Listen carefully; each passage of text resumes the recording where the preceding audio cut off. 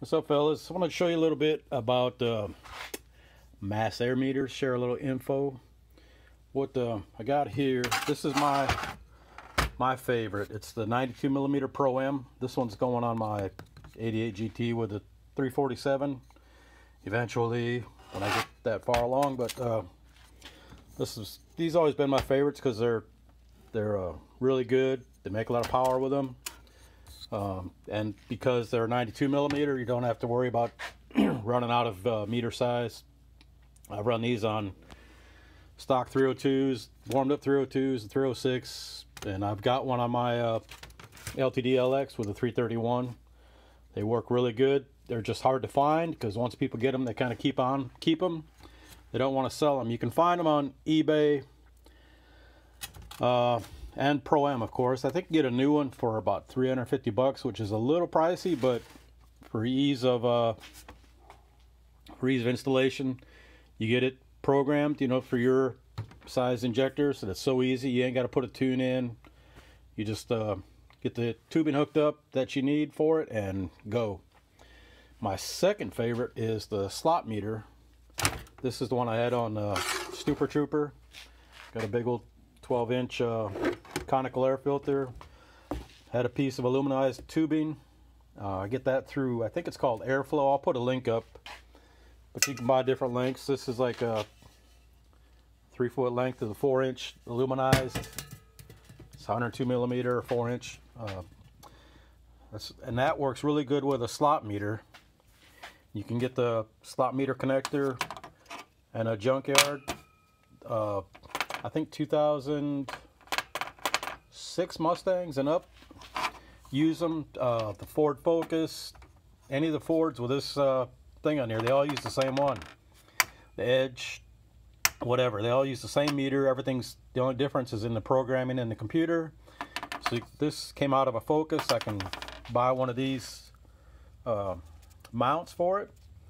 Put that on a piece of four inch pipe like this put that on there, get it welded on, you know, cut the hole out, pop that in, and then uh, put the connector on.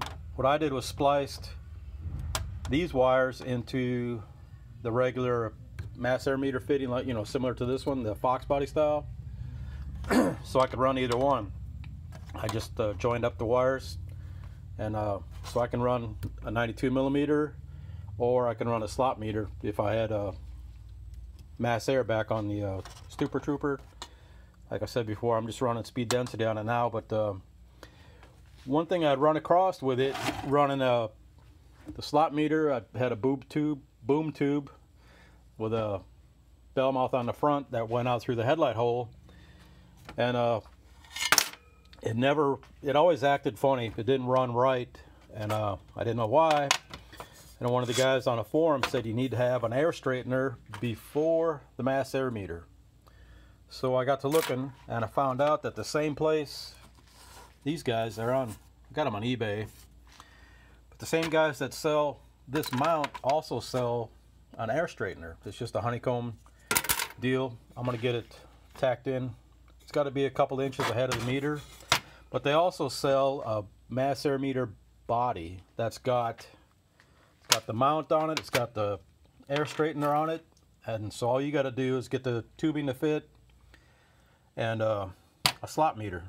And it's, it's, like 95 bucks or so, which you might say, well, that's a little pricey, but you don't have to have anything welded. So if you don't have access to anybody around you that does welding, like I got here, uh, it's a good way to start. Of course, running a slot meter, you're going to have to get a tune but uh, that's not really hard to do if you uh, get your own tuner.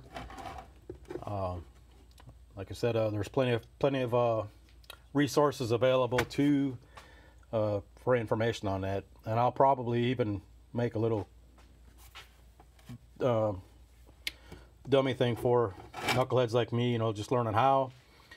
I can make a video sometime soon about doing that. It's not really hard.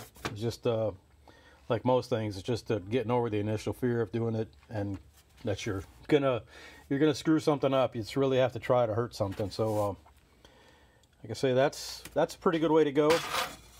You have a four-inch hose or four-inch uh, tube. you run a slot meter, and these things are really good. They're pretty decent for, uh, you know, they're newer than the design of the 92 millimeters. And uh, like I said, you'll be, I think you'll be happy with it. I'm kind of a fanboy of Pro M, like I said before, not so much with the C&Ls, but if you want to go ahead and get started with having a bigger mass air meter, they do make improvements at the track. Uh, I know the first time I brought one of these setups out to put on Rod's uh, Dragon, he's the look on his face was pretty comical when I pulled uh, all the inlet tubing out of the back of my car and, to try it on his, but it did make a big difference. So uh, it's not like uh, you know you read on the internet about the big mass air meters and the big throttle bodies are going to kill your low RPM torque and all that garbage. It's just not true. So this is a really good way to go. And you, like I said, you still get good mileage, and even with these, you still make good power. There's not a lot of obstruction in the tubing like there is with a lightning meter. It's got that big fat thing sticking down in there. And uh, put a chip on it and you're ready to go. This is a really good deal. So once I get this tacked in, I'll try it again. I'll try this, I'll probably try it at the track actually with the uh, red car. Run it back to back with a 92 millimeter versus, uh, versus this thing. After I get it, get it dialed in so I'm consistent with it, then I'll try this.